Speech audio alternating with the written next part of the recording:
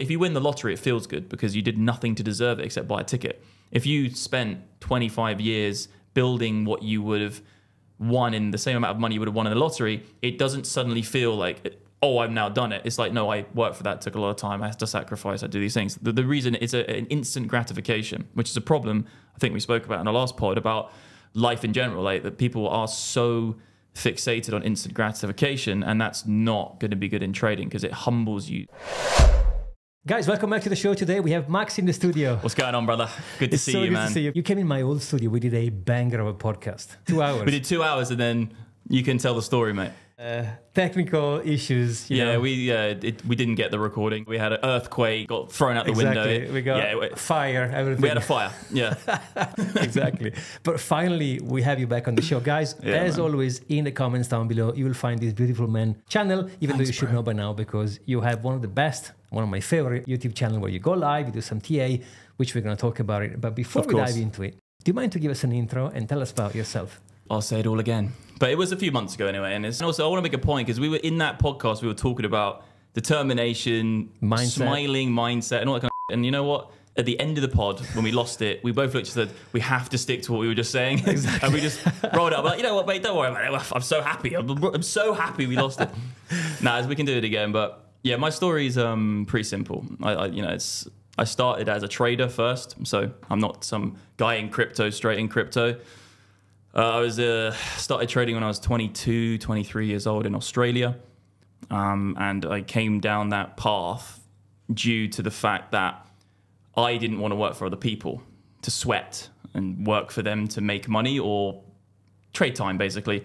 You know i didn't want to have to trade time to make money and i was in australia i was on a working holiday visa. There was no work there was no there was no holiday in in that journey. So i just realized like if i don't find something that i can do on my own time and make money with my own brain and use my brain and myself to make money and i'm never going to have freedom that was kind of the I, actually, was earlier than that as well because I remember working some jobs in England. You know, I was working in uh, Ladbrokes, in in betting shops. I was working in on the phone doing telesales, like listening. Oh, yep, sorry, sir. And I just thought to myself, like, there's even if I got to the top of it's still not going to be freedom because even if I become the manager of this place, I'm just gonna have to be here all day. I'm not. I wasn't a bad kid, but I was a naughty kid. Let's just say that to say the least. Actually. Yeah, it makes two of us. Yeah, yeah, get mad. It's the best way, bro.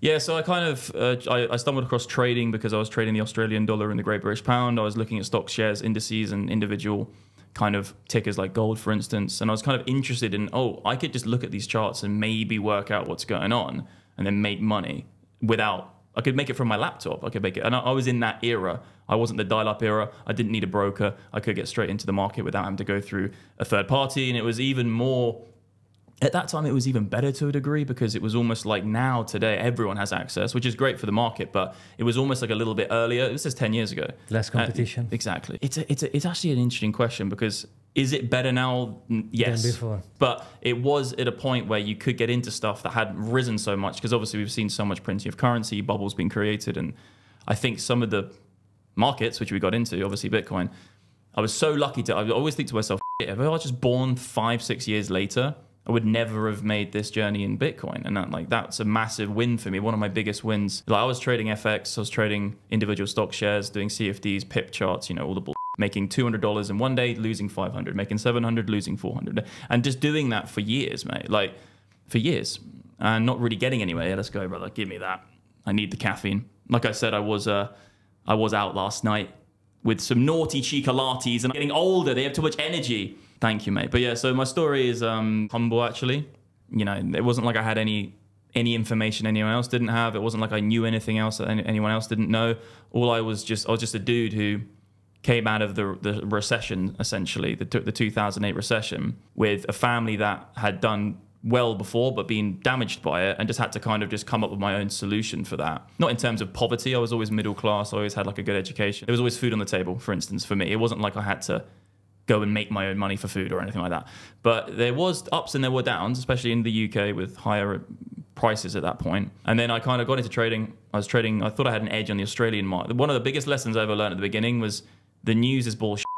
Because i thought the news because I lived in Australia, I thought I would get an edge. Because I was in Australia and the Great British Pound, being British and being Australia in Australia at the time, Uh, and I just fell flat on my face trying to essentially analyze the news market and then try and have an edge. Oh, look, this is happening on inflation. This is happening here. Oh, are they? What what's the the, the interest rate going to be? And I was just like, dude, like no, like I, I I fell flat on my face. And then individual stocks and shares was the one part of it, and then.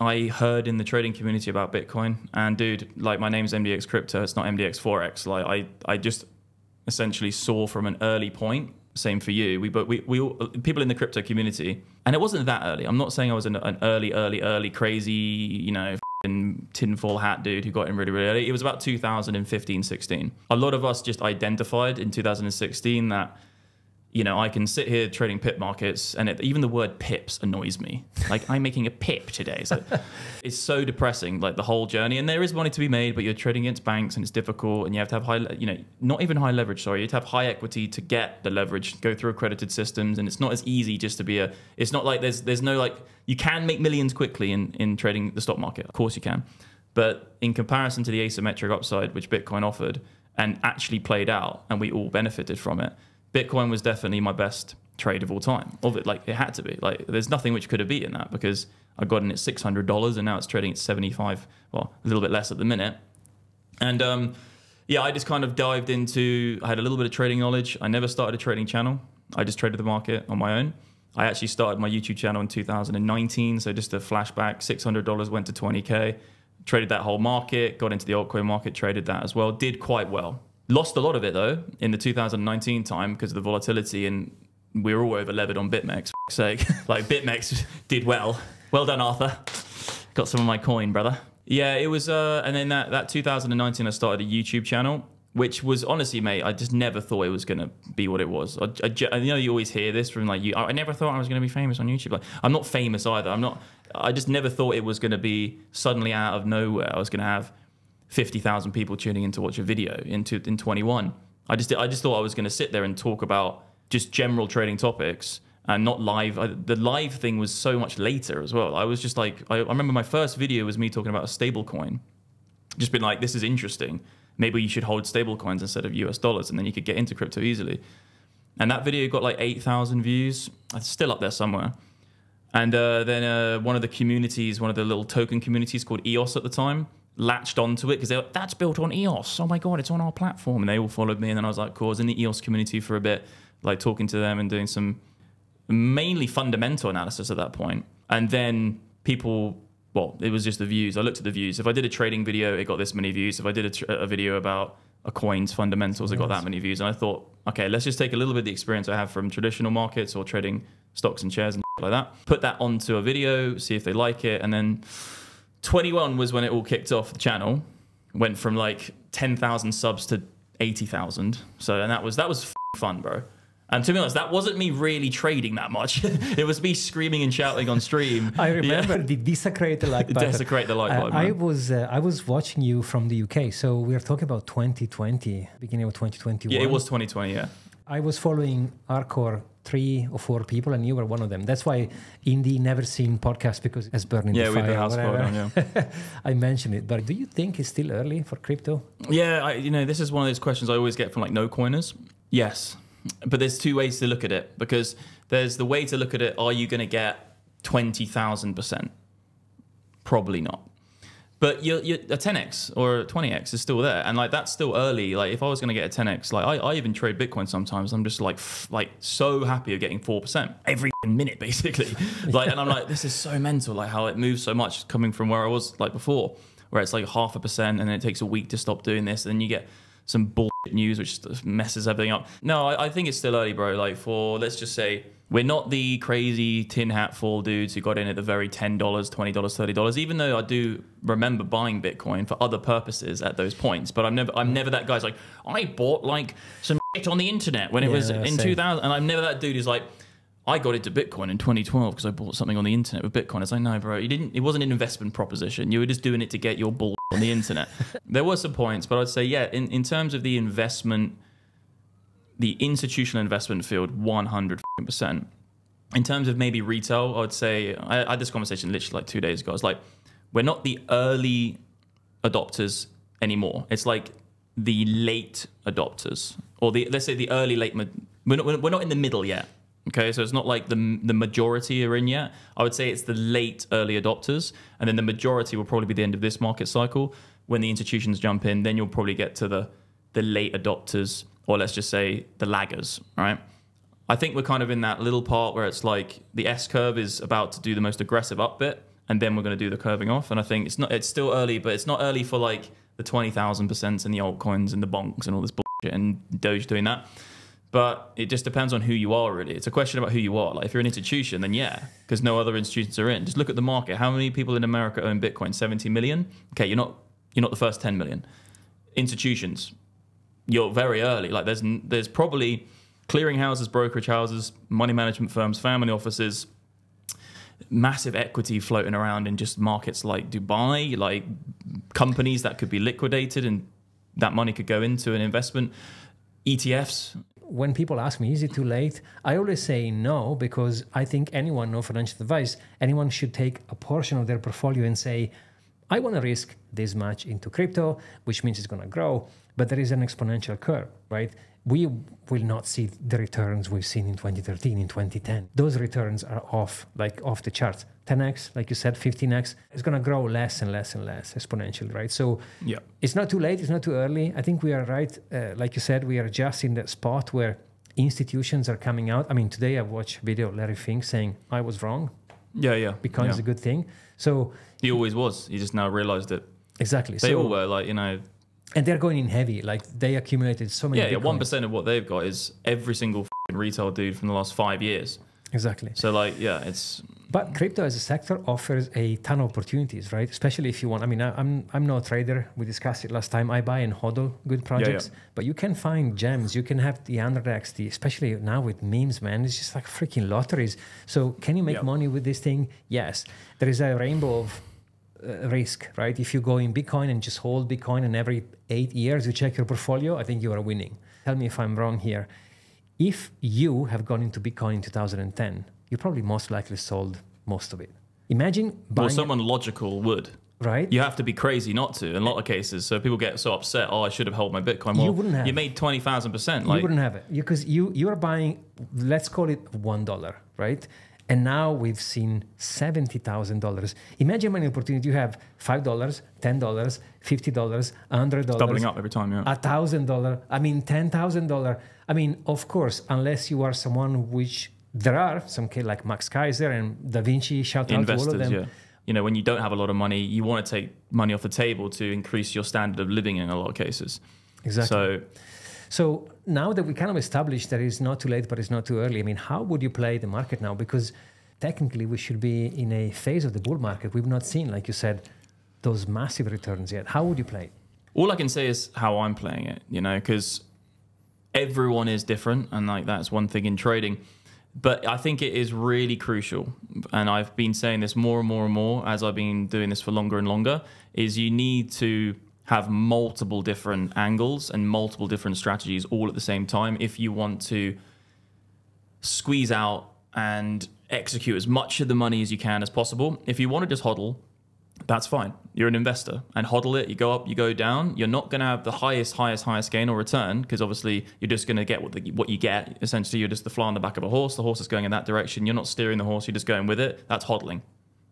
You're just, you're just going to get what you get. Okay. But you have to remember as well, though, just to make one point to what you said before, is there's two different ways. Is your Bitcoin rising in price, or are you trading to make more Bitcoin, and then that rises in price? There's a difference. There's there's some people who are investors and some people who are traders, and there are some people who are looking for more US dollar appreciation in investing, but there are also people who are investing want more Bitcoin, and there's also traders who want more US dollars and more Bitcoin. So there's multiple facets to each part of what a trade really is. Like because if you're just buying spot and waiting for the price to rise, that's a gain in US dollar valuation, but not a gain in Bitcoin. You want to get more Bitcoin. That's another whole trade in itself. That's a percentage within a percentage, if you understand what I'm saying. So I have a trading bot that it shows on the spot side what it makes in US dollars, but then we also have a set aside which shows what it makes in Bitcoin. So how much more Bitcoin have you got as well? But that's another whole thing. But yeah, so I have it broken down into four different things. And I think it's super crucial that people need to have a proportion of their portfolio automated if you want to squeeze out the gains. Because a really good example was on my channel was saying I do think Bitcoin's going to have a pullback to the lowest part of the range. Okay, I don't want to go into numbers because I'm going to be doing this on the thing because no one this could be watched in two years or something. Um, there was a really good opportunity for a short recently, um, which I missed because my parameters didn't get met, and it happened at a point where it would have been impossible for me without essentially being a vampire to get that trade open. Yeah. as simple as that. So like, and I missed that trade. I wanted to get a million dollar short, but I missed it. But because I have a proportion, forty percent of my Bitcoin in my trading accounts is traded with my trading bot.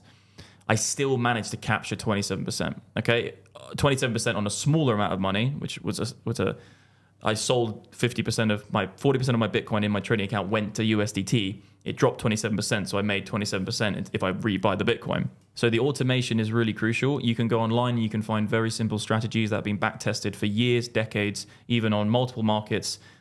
Um, all the edge is patience. Because strategy having a profitable strategy is usually not to do with you know something that someone else doesn't. It's not usually to do with that. It's usually to do do you have the patience to stick with it over a longer period of time and weather the storm when it has a drawdown? Sorry to jump in. It's the definition of the casino why they win because they always play. if you go to a casino you're not there to win. Like that because if you went in there and you won your first bet okay i'm going to leave now i've only been here 10 minutes. No you went to the casino to play. And you're not going to leave after 10 minutes. No you're, you're, you're going to lose all your money always because you're emotionally attached to the feeling of being inside the trade or the gamble. Like this the wheel spinning is the part where you're like what's going to happen brother? It's the same as what's going to happen to the price when you're in the position. So if you're a gambler do not trade. You just leave that for the casino and have a money amount of money that you're prepared to lose. And if you come out one time 8k up and then the next week you lose five don't worry about it because you're going to win and lose. Your overall, your your equity curve cannot be good. like I'm a, I'm a gambler and my equity curve is up. Like if you're one of those guys who can do baccarat or you can do poker and you can do it extremely well, there is skill involved in that. But to be skillful is difficult, so most people can't do it. They'd rather feel.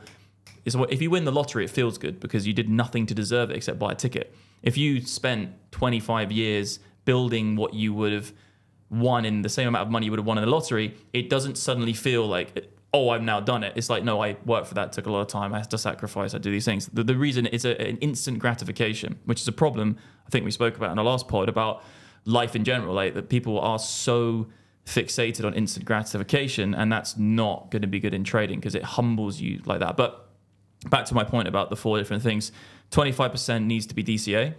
100%. Just DCA. Buy it every single day. Strategy in, in on S&P 500. If you DCA, you will only not. Okay, if you DCA into the SP 500 for the last 50 years, a trader would have only have managed to make 30% more than you. Only 30% more, really. And a lot of guys don't even make any money in trading because they lose it all because they go on tilt, they get emotional. So if you want to mitigate your risk, just DCA into the S&P, DCA into Bitcoin, and traders don't really make that much more. It's only a very small minority of traders who have the exceptional big wins, and then there's most of them are just either 30% or nothing. And then you've got Bitcoin, DCA into it, and you've got so I've got DCA, swing trading strategy, which is my bot predominantly. I still have some Bitcoin. So swing trading is trying to identify with 25% of your money when the market will swing from high to low on a higher time frame. Lower trading, high probability setup trading. So wait on the market and wait until you see a high probability high probability setup. This takes a little bit more, you know, learning. I have a company which we teach this, and we have, you know, MDX Algo, for instance. Yeah, we have I was about to indicators. Yeah, yeah. We Yeah. have a, I have a whole link in the company. comments, yeah, yeah. yeah, amazing. Like that that company's grown so much, and it's all what I do every day now, pretty much. Like the YouTube is great, but I'm building that baby to help people. But uh, yeah, so that part is um, you need to have 25% in scalp, which I would say because you can, you know, it's scalp and swing are subjective because you can have a swing within a lower time frame, which is in a range. You can have a scalp, which is a scalping down on the on the daily, which means it's not going to break a trend. For instance, the terminology I'm trying to talk about: swing is medium to long term. Scalp is shorter term time frames, and you're looking for that high probability setup. So you're waiting for parameters. Say you've got a spreadsheet and you've got five or six things on it. When those things begin to happen, you tick them off. And if all five of them are ticked, you take the trade. Perfect. High probability setup you can make with leverage as well. I'd say use leverage on this strategy. I definitely recommend using leverage because you don't want to have $1 million in exchange. Just have 100K and 10x it. And then you can have that other money somewhere else, yielding, doing things. And if you're using limit orders and you're using, say, if you're using limit orders to get in and out, you have to use that equity. So I'd say you have 10x leverage, so you can get, you can take from the exchange in terms of you can use the tool in an intelligent way to mean that you don't have to lock up a whole load of money and then not have it potentially in another investment. So use leverage on high probability setups, not on don't use perpetual swaps for a medium term swing. It's stupid. Just buy it spot or get a quarterly future. I said this to everyone. Like, don't go on perpetuals and pay funding for seven months. It's ridiculous. Yeah, they They leverage. make the money, not you. And like, and then the last proportion of it is your investments. But and I would classify investments as you could do a shitcoin, you could do a meme stock, you Yep. could do Tesla, you could uh, just investments. And an investment in what I determine an investment is something that you would hold and you always will hold for longer than one year. In traditionally, I'd say five, and Warren Buffett would say ten. But I would say Warren Buffett, he's a bit boring. It's a long time, and he's done it great, and he's a billionaire at 86, but he can't go party on a yacht with loads of chicas at 86. So Yeah. I'd say fine, that can make you money, but I'd say you need to have in the investment circle, right? It needs to be longer than a year in crypto you're going to hold it for. And investments, your edge in investing is the due diligence you do in the project. You know about the team, the funding, you know about the, the PE ratio, you understand the you understand what the roadmap is. You see an idea that hasn't grown yet in the market and all you're doing in investing is waiting for everybody to agree with you later. That's all you're doing. So that's your edge. Don't think, oh, I'm going to go look at the chart and look at the entry. Don't even look at the chart. If you're an investor, don't look at the price chart. You're just going to cloud your judgment into what you believe is the fundamental reason you're buying it, and then you will end up selling it over before a year, and then you've broken your rule. So just just just be an investor, whatever price. If you think it's good, buy it at the levels you. be- If you're looking at say a stock, for instance, like, and this is not going crypto, but the ultimate fundamental value of a stock, in my opinion, and this is not just my opinion actually, this is just quite well known actually. Say you have something in crypto, which you're looking at it and it's making this much money and it's giving you a yield on something, that's the valuation you put on it. And say, if it's below that, I buy, if it's above that, I'll sell. And then hold it for a year or longer, depending on whatever your strat is. Thank you for the green tea. I'm loving it. I'm absolutely No buzzing off the caffeine right now, brother. Uh, I'm, I'm so glad you touched on so many interesting things because I've done exactly what you painted in the beginning, right? So I've done a few cycles with Bitcoin. First cycle, I wasn't even know what I was doing. It was just like cashed a million dollar, and then it went to nineteen thousand. Let's call it twenty k, and it went all the way down to one thousand. Uh, sorry, three thousand. Yeah, yeah, So we had dropped from twenty to three, and I was like, holy. I mean, I didn't lose anything because No I, I yeah. still had the same amount of Bitcoin, but in dollars, I've lost a ton of money. So I was like, okay, how can I play this a little bit better? Because I can still use a slice of my Bitcoins to be more strategic. Yeah. So that's this is where I decided to split my Bitcoins in different bags. For example, meme Yeah. coins now are really hot. I take the pie and I go, how much am I willing to risk? Because this thing can go to nothing. Yeah, And yeah. like you said, you're not going to win all of the calls. We just need one to go. Yeah, and the one that goes is going to make up for all the money we invested into the other 10, 15, right? I want to make one point on this, what you're saying as well. Specifically, crypto. What what Silicon Valley is is going to become is early stage investments in crypto companies, and all companies eventually are going to raise the same way as crypto companies do today. So I would say that the whole Silicon Valley venture capital space will just be companies raising money with a token, and they're generally giving it to KOLs who are advertisers as well. So they're raising money and also getting an advertiser at the same time. That's going to happen globally, I think, with all types of industries. But I would say there's one point you made which is really, really good. You can put a thousand and get 90k out, and there's really not been like that kind of opportunity for literally, even if you are say my dad or your dad or even their dad, like there really hasn't been that opportunity. Maybe if you went back to the beginning of the internet stock era, but it's not these types of ridiculous and the liquidity so In an instantly. instant. And also, a lot of it isn't even using order books. So we're using AMM pools, and this is what's going to eventually come for exchanges as well. But that's another whole topic. But this, I, I would say this: I have made on Matic. I got in at Matic at four cents, and there's no way I could have traded better than what it gave me in terms of the appreciation of the dollar valuation of what it is, because I ended up buying it at four cents. 50, 60K, made millions of dollars that trade. I sold out at $2 or whatever it was, $2.50. And I put all of that into Bitcoin. And then Bitcoin went up. I was just like, oh my God. Like it, it, it was it was one of those ones where it was just ridiculous. And like there's no way, because uh, like I said before, you can wait for appreciation in the US dollar value of the thing you own, or you can look at how much of the thing I'm getting more of. There's two different ways of analyzing what your trade is. Going from Matic and then into Bitcoin, I just saw huge increase of US dollar valuation into a big number of Bitcoin, which then went up in a US dollar valuation. I was like, oh, for f- sake, this is just too. And I would agree with you, dude, that there's probably I would even sometimes say when the the environment is right to do a little bit more of that in terms of low cap. I call them shitties. So meme coins are shitties. Shit coins are shit coins, right? We know that. but there, there's a, there's like three different levels. So you have the it from you. Ethereum is the shitcoin factory. Yeah. A Solana is the shitties factory. Most unbelievably unvaluable thing you'll ever buy in your life, but it's like people will love that because it's gambling. There's a lot of scams as well, so you have to be careful. But I would say, like you said before, diversify the portfolio across it. I don't do it anymore.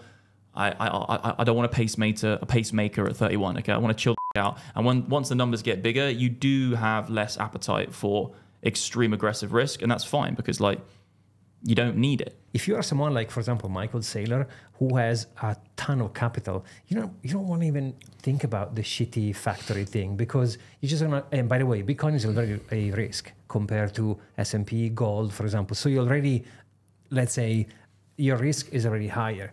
But if you're someone who has maybe 10k, 15k, and he wants to go to maybe having one Bitcoin, I think it might be worth to take a portion of that portfolio and say, I'm gonna hustle harder because I need with Bitcoin. If you have ten thousand dollars today and you just buy ten thousand worth of satoshis, Mm. it's good. Yeah, great, go for it. But it's not going to give you the same amount of return that a meme Yeah. coin, for Yeah, yeah. example, or a altcoin on, on Ethereum or Solana, whatever it might be. So having a portion of that, I usually say not more than 50%, 25% Ethereum, 25% whatever, and you can go down in the Mm. list, having some meme coins. I think nowadays could be a play, but there is so many ways to skin the cat, right? Yeah, I actually made a joke about that the other night. I was like, a million ways to skin a cat, and I was like, what the f- is this expression about? I know, right? It's Why are we skinning cats? I know. like skin a, it should be shear a sheep or something. Exactly. So why would you leave the cats alone? By the way, but there's so many different ways to play the market, right? And depending on you, on your on your on your age, uh, of time frame, risk tolerance, you can play the market. You know that we've seen DeFi, we've seen NFTs, we've seen meme coins. We will always have something new on every cycle. So I think if you are someone who wants to multiply their bitcoins or make more money, I think you should look into these things. Uh, Hmm. That's for sure. But as long as you don't go all degen and take your profit, because Yeah, and be disciplined on what you're saying. And also, you got to remember, I have 25, 25, 25, 25. But then you have to remember is what is the allocation of Bitcoin to altcoins in each section? Okay, because it's like, for instance, I said that I have a swing trading strategy, which is my bot, but it only sold 40% of my Bitcoin within the allocation of Bitcoin in that 25%. Exactly. So it's a, a the, the thing is about trading, and you know, you have a lot of people who come out and they say all of the big buzzwords, but there is so many more. It's like almost when you know Russian dolls. It's like you, there's so many things which you go down, and most things you look at are actually more complicated than they begin to be when you start scratching below the surface to actually make it work. Like I'm saying, you can say, "Oh, I do this and I swing this and I do that," but actually to actually make it work, even the time management having the right appropriate risk, sorting out which exchange, making sure this is working, making sure that your bot fires at the right point, making sure that when you go into a trade, you stick to your principles, write down your parameters. Do It's so so difficult. It's not sexy. Everyone thinks trading is sexy. It's not. It's the opposite. It's like, and that's why a lot of the content you see about trading is always the what you are after you become a successful trader. Because it's all as about uh, trading's about what do you become after you become financially free because you're a trader. And it, it's not fun but that's good. It's definitely sculpted me as a human being. It's changed me as a human being. I'm much more objective. I handle my emotions much better. Depends on how many drinks i've had but we'll, we'll, we'll, we'll keep it at that. But like no no it, it really is a great thing to do but it's very hard and like i would just say like if you're going to come into it like a lot of people do with their you know bushy tail and you know, starry eyes or whatever you want to call it, you're gonna go, you're gonna end up, you know, that that meme where it's like Leonardo DiCaprio and it's like him doing the champagne glass like that, and then it's like the Revenant and he's all up. It's like that you're gonna go through the bear attack like at some Yeah. point, and also you are probably gonna lose everything once or twice. So don't start with a million dollars, please. Start with 10k, and that's it, and lose it all.